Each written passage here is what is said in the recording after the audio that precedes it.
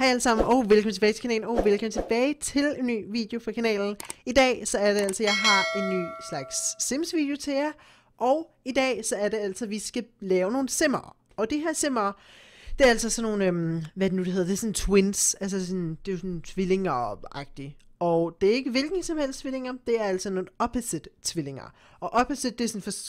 Øh, det kan jeg ikke huske, hvad hedder. Øhm, det er i hvert fald sådan, at de er forskellige de her to tvillinger. Så der er for eksempel en god tvilling, og der er en ond tvilling, kan man vel godt kalde det. Sådan lidt øhm, øh, devil, angel, angel, devil, kan man vel godt kalde det. Altså engel, øhm, og så engel og, hvad hedder det, dæmon, tror jeg det hedder. Er det, er det ikke det, det hedder? Det, det, det, det, tror jeg, det hedder. Nå. Men i hvert fald, i dag, så laver jeg altså de her to tvillinger, og de her tvillinger er altså til rådighed til at downloade dem på galleriet, når den her video kommer op. Hvis de ikke er det af en underlig årsag, så vil jeg meget gerne tro det til mig, fordi så skal jeg nok få det fikset. Ja, yeah, trust me, I'll do that, hvis jeg selvfølgelig ikke er i skole. Men i hvert fald, ja, de her to tvillinger. Øh, den ene hedder Chloe, og den anden hedder øh, Evie, og de hedder altså Johnson til sidst. Så ja, det, det er meget hyggeligt. Og jeg synes faktisk, det er endt med at se. Altså sådan, jeg synes, de to piger er en masse meget pæne ud. Jeg blev ønsket, at jeg måske havde lidt flere muligheder til den her øh, Devil Girl, altså sådan hende den onde pige, eller hende den onde tvilling. Det ville jeg ønske, jeg havde lidt flere, hvad hedder det, muligheder for. Men altså, det er vel også fint nok. I don't know. Men i hvert fald, hvis I faktisk godt kunne tænke jer, for I ved jo godt, One Hungry Baby Challenge, den er slut på kanalen, men hvis I godt kunne tænke jer endnu en slags lille miniserie, fordi jeg har jo øhm, familie Cooper, der kører lige nu, som ikke er en miniserie, det er en, bare en normal serie, der kører på kanalen, men jeg har jo selvfølgelig familie Cooper Let's Play, som selvfølgelig kører på kanalen, og øh, jeg tror bare, at de har brug for for eksempel endnu en slags lille miniserie, som jeg også godt kan se, hvis jeg for eksempel er lidt træt af familien Cooper, så hvis I godt kunne tænke jer, at jeg lavede det her som en slags lille miniserie, hvor det var, at vi fulgte med i deres liv og gjorde nogle sjove ting, som I derude faktisk kom idéerne med til, hvad de skulle gøre for eksempel. Så hvis I godt kunne tænke jer, at jeg lavede en lille let's play med de her to tvillinger, så de bare skal skrive noget i kommentarfeltet, eller bare like den her video. Og øhm, hvis der er rigtig mange, der har liket videoen, og hvis der er rigtig mange af jer i kommentarfeltet, der synes, jeg skal gøre det, så gør jeg det bestemt. Fordi det kunne faktisk være mega spændende. Oh my god, ja. Men i hvert fald, jeg ved ikke, jeg ved ikke, om der er så meget andet at sige til de her tvillinger, kan man vel godt kalde det. Og jeg vil faktisk rigtig gerne snakke om sådan nogle seriøse ting nu. Ikke noget, der kommer til at ske på kanalen, faktisk. Jo, det er faktisk noget, der kommer til at ske på, på kanalen. Og jeg ved godt, at det nok ikke er en super klog idé at snakke om det i sådan en video, som ikke alle min, øh, men hvad hedder det, mine øh, følgere ser. Men jeg gør det bare alligevel, og dem, der ikke har hørt det, de må selvfølgelig se videoen, fordi jeg kommer altid til at sådan, for eksempel lige linke til videoen. Okay, jeg ved ikke, hvad jeg selv prøver at sige. Men i hvert fald, det jeg rigtig gerne vil snakke om, det er, at jeg har overvejet at starte en ny kanal op.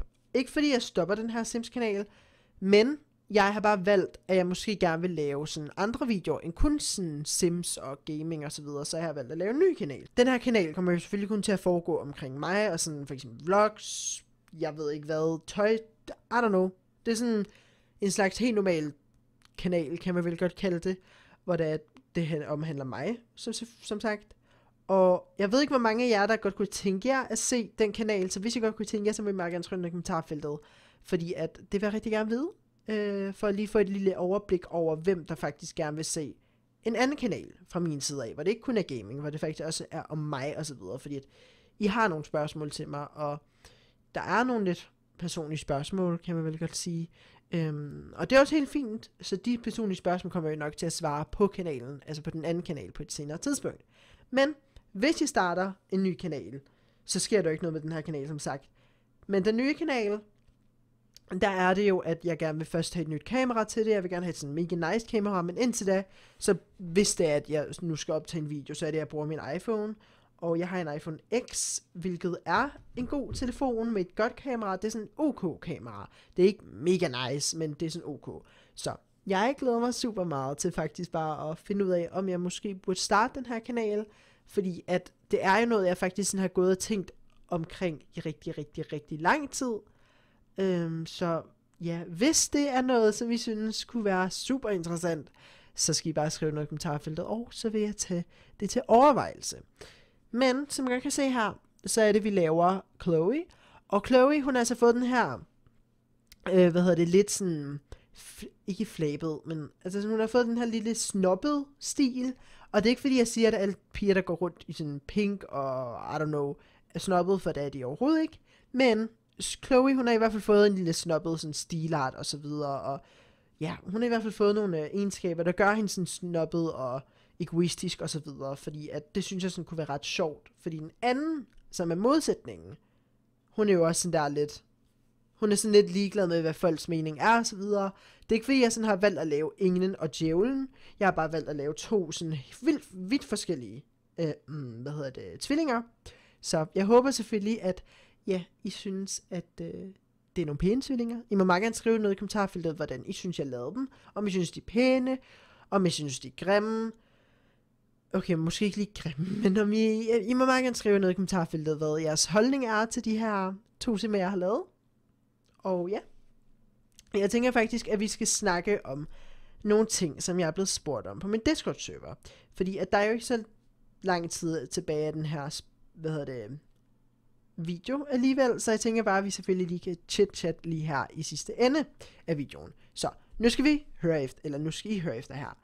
Fordi at jeg var inde på min Discord-server, I må meget gerne join min Discord-server, der er link i description fordi at så er det jeres sådan, idéer kan komme med i uh, mine videoer. Men jeg spurgte her, øh, at folk de skulle komme med, hvad hedder det, Ej, sorry, jeg er fuldkommen træt, sorry. Men jeg skrev, om folk ikke lige ville komme med nogle temaer, vi kunne snakke om øh, til de seneste, sådan speedbuilds, øh, create sim videoer osv.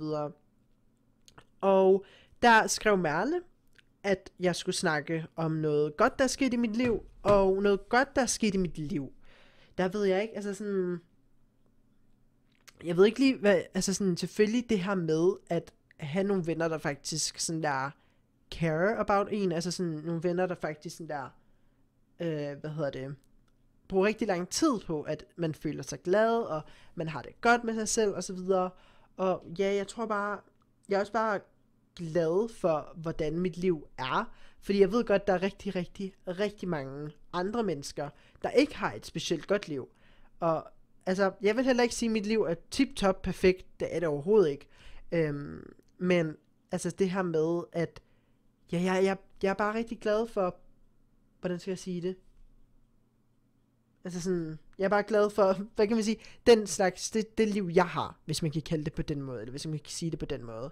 Så, ja. I, I skal i hvert fald bare huske, at hvis I føler nede, hvis I føler et eller andet, altså hvis I virkelig føler sådan, ikke deprimeret, jo, lidt deprimeret, trist og så videre, så skal I nok komme igennem det, og hvis det er, så kan I altid kontakte mig ind på min Discord-server, eller ind på min Instagram, jeg har fået lavet en ny Instagram, hvis I fulgte min Hej Simming Instagram, så er det I stadig følger den, jeg lavede bare navnet om, men jeg hedder Haris T100 inde på min Instagram, uh, jeg skal snart have fundet et nyt navn, by the way, så ja, det, det skal jeg nok finde, men i hvert fald, øh, jeg er super træt, I'm sorry. øh, men i hvert fald, I må meget gerne gå ind og følge mig ind på Instagram. Ja, så i hvert fald bare gå ind og følge mig, hvis det er, at I gerne vil kontakte mig inden for sådan nogle ting og så videre. Fordi så er jeg i hvert fald klar til at hjælpe jer.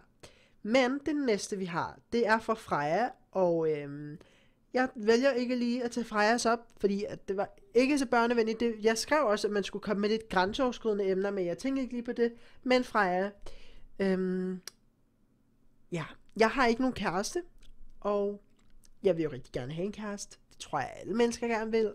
Men jeg tror bare ikke lige, jeg er heldig i det stadie, eller hvad man skal kalde det. Øhm, og så undlader lige at tage det næste spørgsmål med, fordi det er ret så ubørnevenligt, kan man vel godt sige. Så ja, men Freja, hvis du gerne vil have svar på det, så skriv det bare til mig. Ej, okay, nej, jeg joker. Nå, men vi går videre til det næste, som så er... Øhm, wait, what? Oh, okay, det var ikke til det. Øh, politik, altså jeg ved ikke så meget om politik. Det er ret sjovt. Jeg ved faktisk intet om politik. Øh, så det værste sygdom, jeg har haft. Jeg har faktisk aldrig haft en sygdom.